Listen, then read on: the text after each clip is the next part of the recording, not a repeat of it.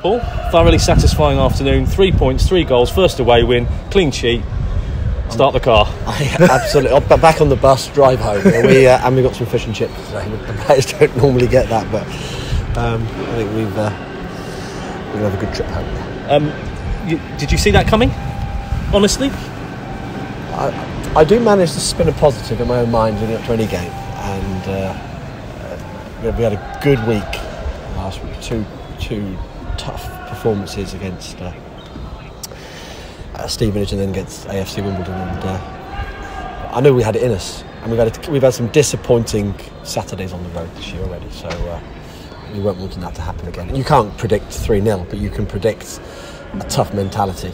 That's exactly what we had you'll, I know you'll take this in the right way because we talk so much about the football. But I, I watched that game. Good performances all over the park. But, I, but I feel as if they, there's more. There's more to come. Do you know what I mean? Even though it was a 3 0 victory. Yeah, absolutely. Absolutely. We, yeah, we, we. I'm not going to get ahead of ourselves. It was a good 3 0. And we won 3 0 because the way we played. You know, we, we counter attacked really well and we defended. And, and maybe maybe t- today's the sort of day that if you try to step that up too much, you, you actually don't win that game 3 0. But you're absolutely right. We, we, there were times today when I wanted, at half time, my, my talk to them was about more football, it was about more confidence, it was about. You, you, could easily say, right, okay, half time, 1 0 up, let's just defend. It wasn't about that. It's exactly what you're implying. There's more there. Mm. And I was encouraging them to take a bit of a chance and show a bit more confidence. And you know, we, we, we, the third goal was a great example of that, of just making two or three quick passes and through the lines and we're off and scored. So really pleased. There is more to come, but I'm, I'm taking 3 0.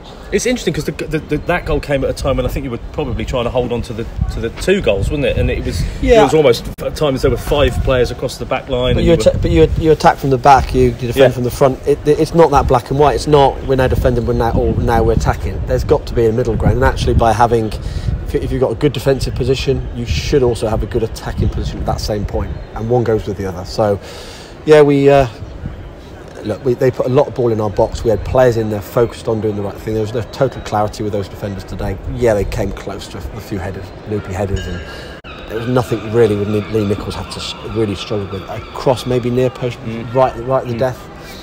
I'm delighted for the players. Um, do you understand the fans and potentially us, you know, doing the commentaries, excitement in a player like Sam Nombe, thrusting himself through? Can I be excited too? Yeah.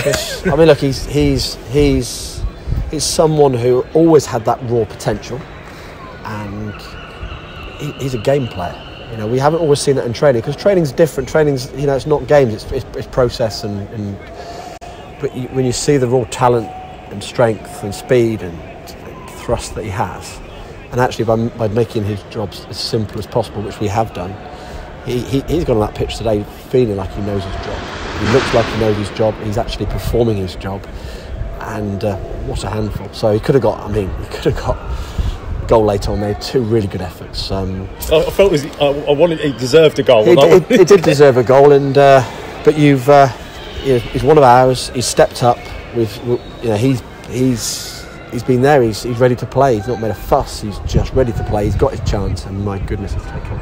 Um, could have it could have been a terrible start because Rhys your plans had to change oh. very quickly with Rhys Healey picking up that injury. Oh, don't, I mean that's that's uh, something I'm going to have to consider. What I mean, we, are going to have to get his thigh scanned.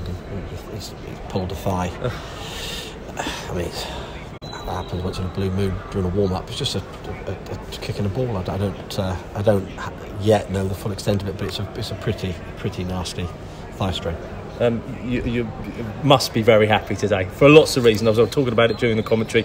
Yeah, you know, get that hoodoo, the first away win in the league out. That's done and dusted. You've got the clean sheet. You've got this, you know, young these young players in David Kasumu and Sam Nombe coming through, and and that gelling together of the side seems to be getting better and better.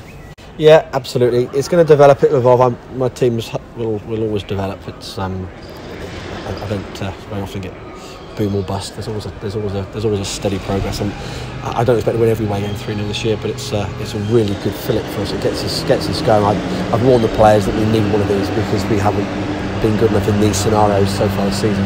And they've got and they've toughened up. We're, you know going going back a couple of weeks ago, you may have said we're a soft touch. We're not. We are not that. We've had, we've had three very very good performances now against three teams that have given us a challenge, and I'm looking forward to the next game. Appreciate your time.